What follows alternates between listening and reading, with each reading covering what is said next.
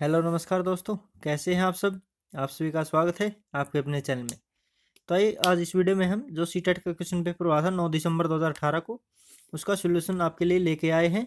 ये official answer की के साथ सोल्व किया हुआ है क्वेश्चन पेपर तो इसमें एक्सप्लेनेशन के साथ आपका क्वेश्चन ये क्वेश्चन पेपर सोल्व करने वाले हैं हम।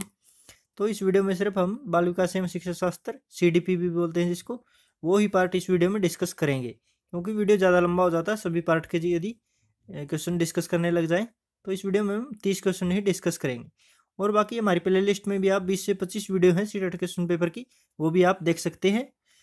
आपके ये महत्वपूर्ण होते हैं। Back C TET back question paper यदि सी टेट का सी टेट की तैयारी कर रहे हैं तो आप, क्योंकि रिपीट करता है सी टेट क्वेश्चनों को बार बार और साथ में हमारे चैनल पर आप EVS Hindi English math reasoning की वीडियो भी प्लेलिस्ट में जाकर देख सकते हैं। तो इसके लिए बस आपको क्या करना है सब्सक्राइब का बटन दबाना और बेल आइकन को दबाना है, ताकि जब भी कोई नया वीडियो डालो, उठ, उसका भी नोटिफिकेशन आप तक पहुँच जाए। तो शुरू करते हैं। पहला ही क्वेश्चन इसमें, निम्नलिखित में से कौन सा शिक्षक की भूमिका का सबसे अच्छा वर्णन करता है?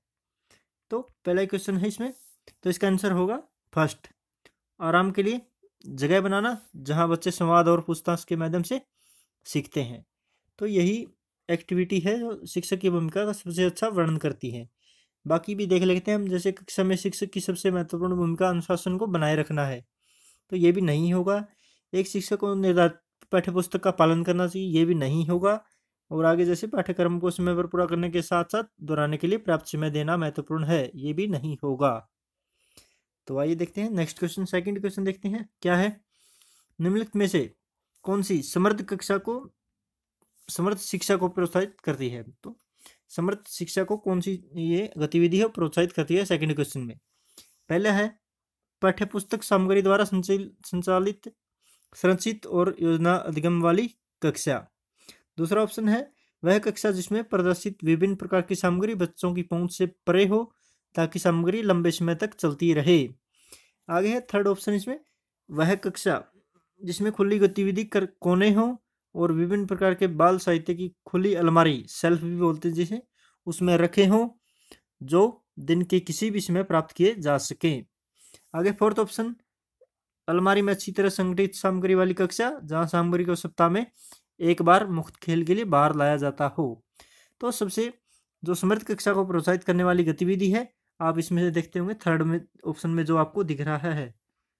एक, विभिन्न प्रकार की बाल साहित्य वाली सामग्री जहाँ अलमारी में रखी हो, जो कि दिन के किसी भी समय प्राप्त किया जा सके। मतलब बच्चों के लिए किताबें किसी भी समय प्राप्त कर सके। बच्चे जो उनकी बाल साहित्य से संबंधित है तो यही गतिविधि सबसे बेटर होगी। समृद्ध कक्षा को या समृद्ध शिक्षा को प्रोत्साहित करती है। आगे है थर्ड क्वेश्चन निम्नलिखित में से कौन सा कक्षा में पाठ्यपुस्तकों की भूमिका का सबसे अच्छा वर्णन करता है? तो पाठ्यपुस्तकें होती हैं, उनकी भूमिका का सबसे अच्छा कौन सा ऑप्शन वर्णन करता है? पहला ही ऑप्शन इसमें, वे संसाधन रहित संदर्भ में आवश्यक अधिगम संसाधन बनाती हैं। वे कक्षा में उपलब्ध संसाधनों और संदर्भ सामग्री में से एक है। तो आगे देखते हैं थर्ड ऑप्शन क्या है इसमें? वे एक राज्य या राष्ट्र में अधिगम में एक रूपता बनाए रखती हैं। आगे फोर्थ ऑप्शन है, वे अध्ययन के पाठ्यक्रम के बारे में शिक्षकों और माता पिता को मार्गदर्शन प्रदान करती हैं। तो ये होती है जो हमारी देख लेते हैं क्वेश्चन पाठ्य पुस्तकों की भूमिका सबसे अच्छा वर्णन। तो इसमें से जो पहला ही ऑप्शन है, वे संसाधन रहित संदर्भ में आवश्यक अधिगम संसाधन बनाती हैं। तो ये फ़र्स्ट ऑप्शन इसका आंसर सही है। आगे है फोर्थ क्वेश्चन राष्ट्रीय पाठ्यचर्या फ्रेमवर्क एनसीएफ 2005 ने अपनी समझ खालिस्तान से प्राप्त की है। तो किससे अपनी समझ प्राप्त की है? उसने रचनावाद, इसको कंस्ट्रक्टिविज्म भी बोलते हैं, इससे अपनी समझ प्राप्त की है एनसीएफ 2005 ने। ये बाकी ऑप्शन गलत है, मानवतावाद, व्यवहारवाद, संज्ञानात्मक सिद्धांत, ये बिल्कुल तीनों ऑप्शन गलत है। ये फोर्थ वाला ऑप्शन आपका बिल्कुल सही होगा, रचनावाद। इसको कंस्ट्रक्टिविज्म भी बोलते हैं। ये आपको लिख दिया जाए कंस्ट्रक्टिविज्म तो आपका वो भी इंग्लिश में ऑप्शन सही होगा, रचनावाद भी बोलते हैं इसको। तो ये ज्ञान के निर्माण पर ज़ोर देती है एनसीएफ 2005 तो इसी वजह से रचनावाद बोलते हैं इसको, उस पर ज़ोर देती है।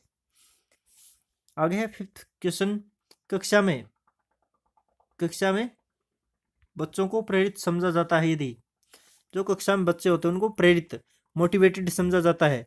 कब समझा जाता है? वे शिक्षक से स्पष्टीकरण प्राप्त करने के लिए प्रश्न पूछते हैं। वे अच्छी तरह से वर्दी पहनकर स्कूल में आते हैं। वे अच्छा अनुशासन बनाए रखते हैं। वे सभी उपस्थिति में नियमित हैं। तो ये जो भूमिका है उनकी, वे शिक्षक से स्पष्टीकरण प्राप्त करने के लिए प्रश्न पूछते हैं। तो ये फ़र्स्ट वाला ऑप्शन है जो, ये बिल्कुल सही है आपका आंसर तो फिफ्थ का फ़र्स्ट ऑप्शन सही है। आगे सिक्स क्वेश्चन निम्नलिखित में से कौन सा बच्चों में अधिगम में सुधार करने के लिए सबसे उपयुक्त है? तो जो बच्चे हैं उनमें अधिगम में सुधार करने के लिए सबसे उपयुक्त क्या है? तो शिक्षक को वास्तविक जीवन स्थितियों पर बच्चों को एक दूसरे से बातचीत करने में मदद करनी चाहिए। जो वास्तविक जीवन की परिस्थितियाँ होती है, उनके ऊपर एक दूसरे से बातचीत में मदद करनी चाहिए। नियमित नियमित मूल्यांकन परीक्षा आयोजित की जानी चाहिए। थर्ड ऑप्शन है शिक्षक को विभिन्न उदाहरणों और चित्रों का उपयोग करके विषय की व्याख्या करनी चाहिए। और फोर्थ ऑप्शन है कक्षा में सभी प्रकार की शिक्षण सामग्री होनी चाहिए। तो अधिगम में सुधार करने के लिए सबसे उपयुक्त क्या है? जो जीवन की परिस्थितियाँ होती है, वास्तविक जीवन की स्थितियाँ होती हैं, उनको कक्षा में लाकर एक दूसरे से उनके ऊपर बातचीत करने के लिए मौका देना चाहिए और उसमें उनकी मदद करनी चाहिए। तो ये ऑप्शन इनका बेस्ट आंसर होगा सिक्स का फ़र्स्ट आगे सेवंथ अनुशासन, जो अधिगम वातावरण में बहुत अधिक महत्वपूर्ण भूमिका निभाता है, किस तरह मदद करता है? तो अनुशासन है वो किस प्रकार मदद करता है? तो इसके लिए ऑप्शन है चार आपके सामने, बच्चों को उसके पाठ को रट कर याद करने में। ये तो बिल्कुल नहीं होगा। बच्चों को अपनी शिक्षा को विनियमित और मॉनिटर करने के लिए थर्ड ऑप्शन है, चुप्पी सादे रहने के लिए फोर्थ ऑप्शन है शिक्षकों को निर्देश देने में। तो इसका ये ऑप्शन है जो सेकंड, बच्चों को शिक्षा की विनियमित और मॉनिटर करने के लिए। ये अनुशासन या अधिगम वातावरण होता है जो हमारा, उसमें एक महत्वपूर्ण भूमिका निभाना है, निभाता है। उनकी जो शिक्षा है उसको विनियमित करना और मॉनिटर करने के लिए कहना। मॉनिटर मतलब ऑब्ज़र्व करना कि उनकी अपनी शिक्षा को या कक्षा को। आगे है, अनुवांशिकता और पर्यावरण की भूमिका के बारे में निम्नलिखित में से कौन सा कथन सत्य है? तो एट्थ ऑप्शन एट्थ क्वेश्चन है हमारा। ये अनुवांशिकता और वातावरण की जो भूमिका है, इसके ऊपर हमने वीडियो बना रखा है, वो भी हमारी प्ले लिस्ट में देख सकते हैं साइकोलॉजी में। अनुवांशिकता और वातावरण के ऊपर बहुत ही महत्वपूर्ण वीडियो है वो वो देख सकते हैं आप। तो शिक्षक की या पर्यावरण की भूमिका होती है जो अनुवांशिकता और वातावरण वातावरण भी बोलते हैं, इसको पर्यावरण भी बोलते हैं। उसकी भूमिका के बारे में कौन सा कथन सत्य है? जो अनुवांशिकता होती है वो तो अपने आप होती है और पर्यावरण होता है जो शिक्षक को और जैसे उसके माता पिता को प्रदान करना पड़ता है वातावरण। तो इनमें से कौन सा कथन सत्य है इसके बारे में? तो पहला ही ऑप्शन है, पर्यावरण केवल बच्चे के भाषा विकास में महत्वपूर्ण है। आगे है, ये विकास के किस, कुछ पहलू अनुवांशिकता और कुछ अन्य पर्यावरण से अधिक प्रभावित होते हैं। थर्ड ऑप्शन है, सीखने और प्रदर्शन करने की, एक बच्चे की अक्षमता जीनों द्वारा पूरी तरह से निर्धारित की जाती है। और फोर्थ ऑप्शन है, अच्छी देखभाल और पौष्टिक आहार बच्चे के लिए किसी भी जन्मजात विकार को दूर कर सकता है। तो इसका राइट ऑप्शन होगा सेकंड विकास के कुछ पहलू अनुवांशिकता और कुछ पर्यावरण से अधिक पर्यावरण प्रभावित होते हैं। तो ये बिल्कुल ऑप्शन सही है, क्योंकि कुछ पहलू होते हैं जो अनुवांशिकता से प्रभावित होते हैं और कुछ पहलू वातावरण से प्रभावित होते हैं। अनुवांशिकता इसका एग्ज़ाम्पल देता हूँ आपको, जैसे मान लीजिए उसका अटकटा शरीर है, वो अनुवांशिकता ही के कारण ही होता है। और पर्यावरण, उसको मतलब स्किल प्रदान करना बच्चों को वो पर्यावरण से अधिक प्रभावित होता है, कोई भी स्किल प्राप्त करता है बच्चा। तो एक हट्टा कट्टा शरीर अनुवांशिकता से ही प्राप्त होता है। जैसे मान लीजिए उसका शरीर ढांचा होता जो मज़बूत, वो अनुवांशिकता से अनुवांशिकता से ज़्यादा प्रभावित होता है। आगे नाइन्थ क्वेश्चन निम्नलिखित में से कौन सा कथन प्याजे के सिद्धांत के अनुसार कहा नहीं जा सकता?